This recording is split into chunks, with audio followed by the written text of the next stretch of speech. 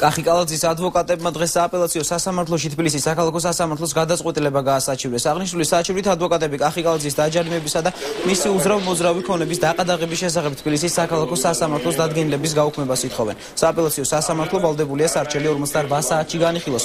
საქალაქო სასამართლომ სახელმწიფო აუდიტის ადმინისტრაციულ სამართალდაღოვათა ოქმის საფუძველზე 10 აგვისტოს კახიკალაძე 16 მილიონს 954.900 ლარით დააჯარიმა. იყო საუბარი რაღაც კახიკალაძის